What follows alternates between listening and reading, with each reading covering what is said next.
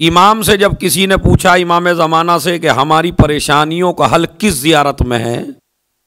यानी अगर हम इकतसादी तौर पे परेशान हो जाएँ, रिश्तों के लिए परेशान हो जाएँ, किसी भी मुसीबत में आ जाएँ, मरज़ में मुबतला हो जाएँ कर्ज़ में मुबतला हो जाएँ तो इमाम ने फरमाया अलह का बिल जामिया अलह का बिल जामिया अलह का बिल जामिया। उस ज़ियारत को पढ़ो जो मेरे दादा ने तालीम की है। तो ज़ियारत जामिया का दस्तूर हमारे यहाँ बहुत कम है। हम ज़ियारत आशूर पढ़ लेते हैं हम ज़्यारत अरबईन पढ़ लेते हैं, हम ज़्यारत वारसा पढ़ लेते हैं। लेकिन सबसे अजीम ज़ियारत ज़ियारत जामिया कि जिसे आप हर इमाम के रोज़े में पढ़ सकते हैं।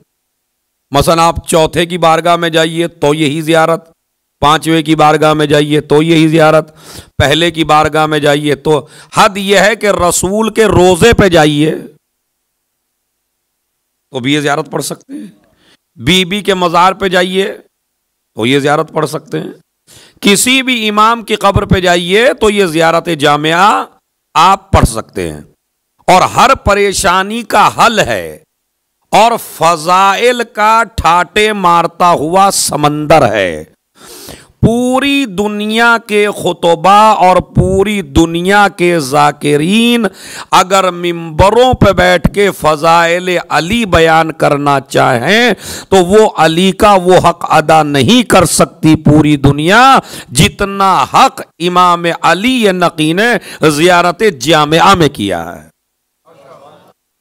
अपने दादा के वो फ़ज़ाइल, अपने अजदाद के वो फ़ज़ाइल, इमामत के वो फ़ज़ाइल, और अल्लाह से वो कांटेक्ट बयान किया हमारे इस इमाम ने इमाम का। तो अगर मैं कुछ अल्फाज सुनाऊं तो ज़रा सलावात बावाज बुलंद पढ़े मोहम्मद।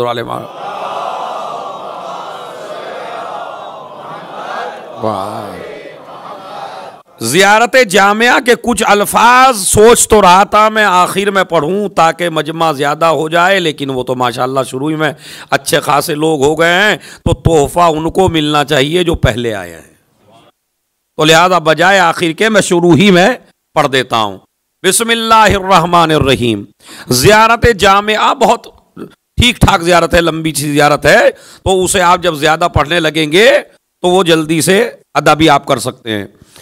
मन वाला होम फ़कद वाल्लाह जो इनसे मोहब्बत करेगा, गोया के उसने खुदा से मोहब्बत की। देखिए, पहला ही जुमला बड़ा अजीबो गरीब है। अगर आप मुझसे मोहब्बत करें तो गारंटी नहीं है कि आपकी ये मोहब्बत अल्लाह के लिए भी हो जाए। आप दुनिया में किसी भी इंसान से मोहब्बत करें, लेकिन उस इंसान की मोहब्बत अल्लाह की मोहब्बत नहीं बन सकती।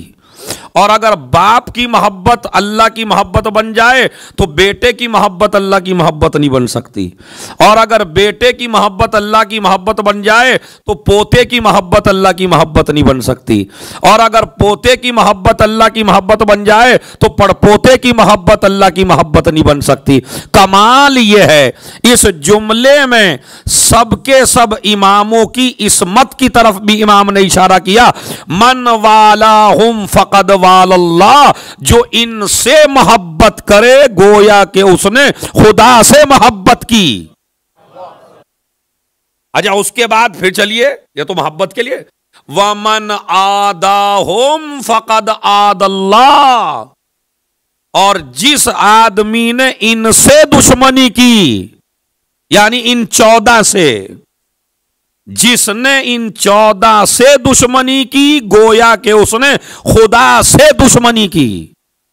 अब आज ये जियारत जामिया का जुमला सुन के आपकी फलसफा समझ में आ जाएगा। कि बाज लोग नमाजी हैं, रोजेदार हैं, हाजी हैं, दीनदार हैं, सदका देते हैं, खैरात देते हैं, मदरसों के मालिक हैं, कॉलेजों के मालिक हैं, लेकिन फिर भी वो अल्लाह वाले नहीं हैं, फिर भी वो रसूल वाले नहीं हैं। क्यों? इसलिए कि इमाम फरमाते मन आदा हम फ़कद आदल्ला जो इनसे मोहब्बत करे, गोया खुदा से मोहब्बत कर रहा है, और जो इनसे दुश्मनी करे गोया खुदा से दुश्मनी कर रहा है। यानी, अगर अहले बैत को नहीं मान रहा है तो दीन का कोई अमल काबिल कबूल। यह जियारत जामिया का निचोड़ है। उसके बाद यही नहीं रुके इमाम। मन वाला हम फ़कद वाल्ला व मन आदा हूँ फ़कद आदल्ला अब फिर फरमाया, मन आरेफ हम फ़कद आरेफ अल्लाह बड़ा कीमती जुमला है खुदा की कसम, दाद देते देते थक जाएँगे मेरे मौला का जुमला। जिसने इनको पहचान लिया, गोया के खुदा को पहचान लिया।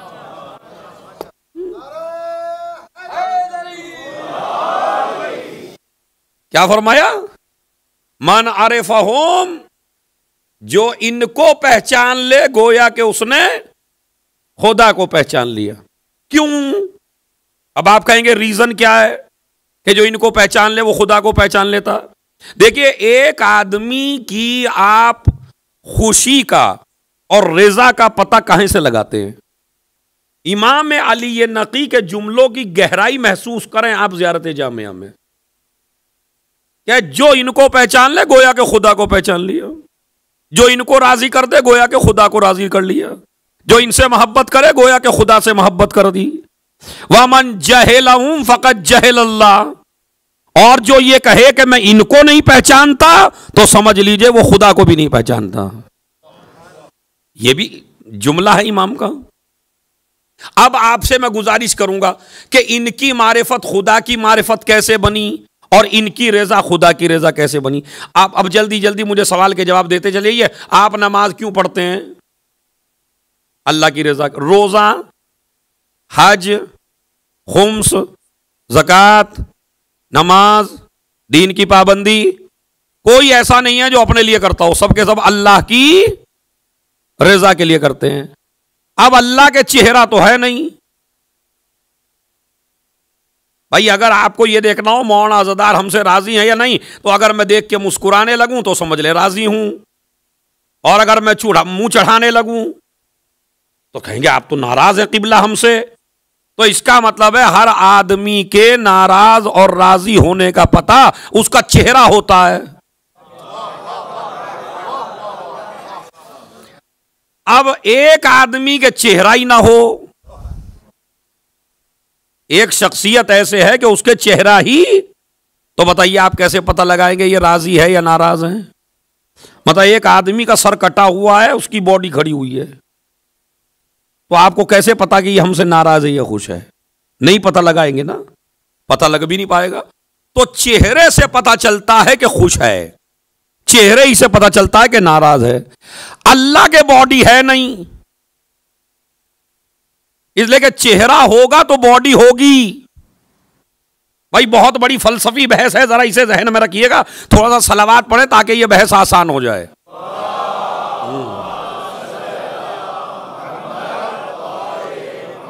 खुदा की कसम यह आसान बहस नहीं है। अल्लाह के वजूद की बहस है, जो मैं इमाम अली नकी के कौल से हल करना चाहता हूँ। और वो क्या है? कि अल्लाह के बॉडी नहीं है, अल्लाह के जिस्म नहीं है। इसलिए कि जिस्म अगर पहाड़ जितना भी हो तो पहाड़ भी एक जगह है, दूसरी जगह नहीं है। अब हिंदुस्तान, पाकिस्तान में जो पहाड़ हैं बड़े बड़े वो वहीं तो हैं, यहाँ नहीं है। और जो यहाँ पहाड़ हैं, वो वहाँ नहीं है।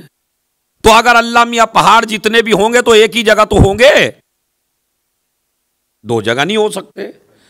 तो अगर अल्लाह के बॉडी हो जाए तो बॉडी की खासियत है एक जगह होना और दूसरी जगह ना होना। अगर अल्लाह के बॉडी साबित आप कर दें का अल्लाह मियाँ कहाँ है? कहा, आसमान पे हैं। तो अगर अल्लाह आसमान पे है तो ज़मीन पे नहीं है। और अगर अल्लाह ज़मीन पे है तो आसमान पे नहीं है। चूँकि बॉडी की खासियत होती है, एक जगह को घेरता है, दूसरी जगह को खाली छोड़ता है। अभी आप थोड़ी देर पहले अपने ऑफ़िस में थे या घर में थे तो इमाम बाड़े में नहीं थे। और अब इमाम बाड़े में हैं तो घर में नहीं है। तो बॉडी की खासियत होती है, एक जगह होना, दूसरी जगह ना होना। अब मैं आपसे बताना चाहता हूँ, अल्लाह का वजूद हर जगह है।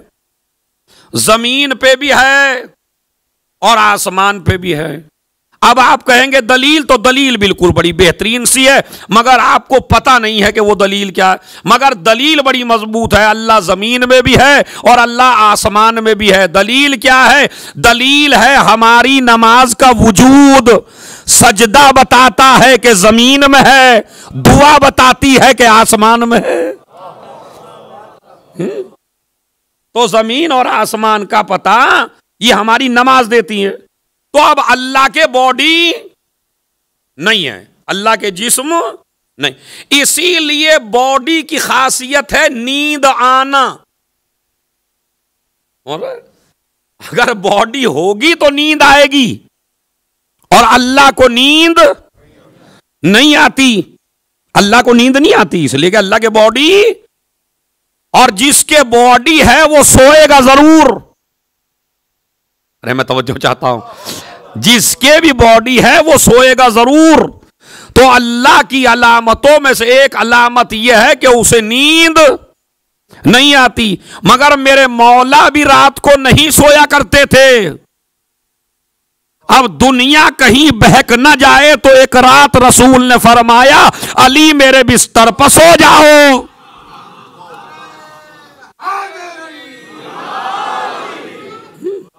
सलावाद भेजे मोहम्मद वाले मोहम्मद।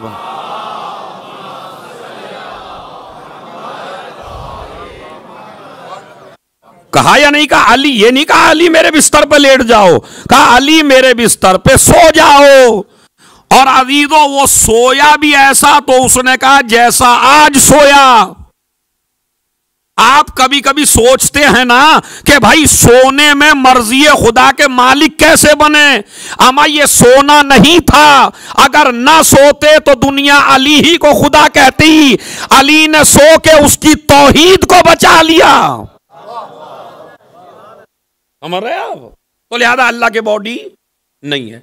अब जब अल्लाह के बॉडी नहीं है, अल्लाह के चेहरा नहीं है तो पता कैसे चले कि अल्लाह नमाजों से राज़ी है, अल्लाह रोज़े से राज़ी है, अल्लाह हज से राज़ी है, अल्लाह तुम्हारे दीन से राज़ी है। इमाम ने सारे मसले को हल कर दिया, कहा, जो इनसे राज़ी हो जाए।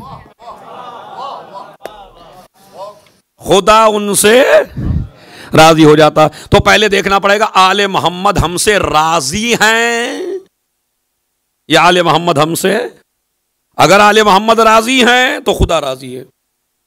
आले मोहम्मद नाराज़ हैं तो खुदा नाराज़ है। उसके बाद फिर फरमाते हैं, बड़ा अजीब गरीब जुमला। इसी जियारत का। क्या फरमाते हैं?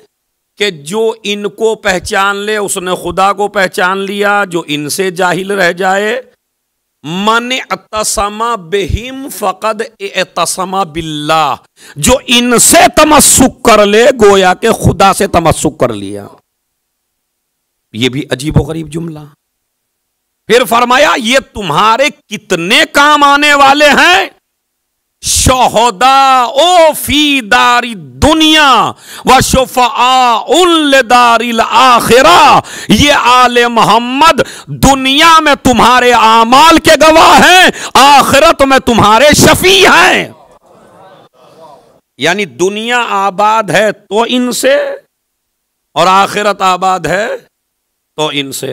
फिर फरमाते हैं, वबे वेला यते कोम तुफ्तरुज तुफ्तरजो अल मुफ्तराजा तुकबलो अत्ता अल मुफ्तराजा ये सबसे कीमती जुमला है जो आपको हदिये की शक्ल में मैं दे रहा हूँ जियारत जामिया का इमाम फरमाते हैं तुम्हारी कोई भी इताअत कबूल नहीं है अगर इनकी विलायत ना हो